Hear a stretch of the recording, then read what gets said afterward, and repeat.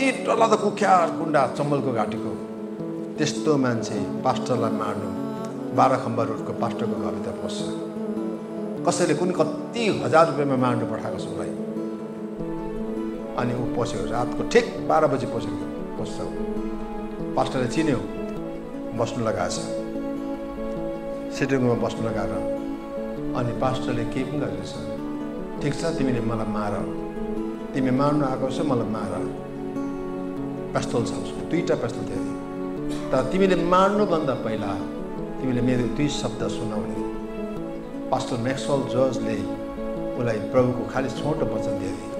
छोटो वचन दिने बित्तिकै उराटेका नानी जस्तो रोयो भन्छ त्यति बेला उसले के भने पाद्री आप त बहुत भगवान् है आप त बहुत धर्मी मान लोक है जसले मलाई मार्नु पठाएको छ म अहिले नै गएर एक पैसा बिना त्यसलाई म मारिदिन्छु अब्बी मारिदिएको अब्बी मारिदिएको उसको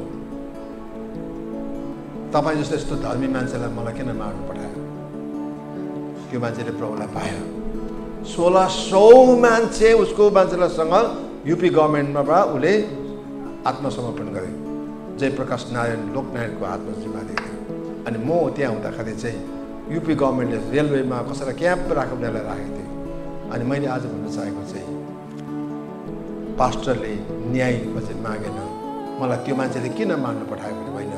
तर त्यो मान्छेलाई उसको हातमा पेस्तोल थियो। पास्टरको हातमा परमेश्वरको वचन र अनुग्रह र परमेश्वरको वचनको बन्दुक थियो। होइन हामीलाई न्यायकर्ता होइन। हामीलाई एकअर्काको लागि प्रार्थना गर्ने वकिल पो चाहिन्छ त। यदि यस्तो हो भने त हामी सजिलै जिउन सक्छौँ त। यस्ता भत्किएको कुरा हामीले बनाऊ आमेन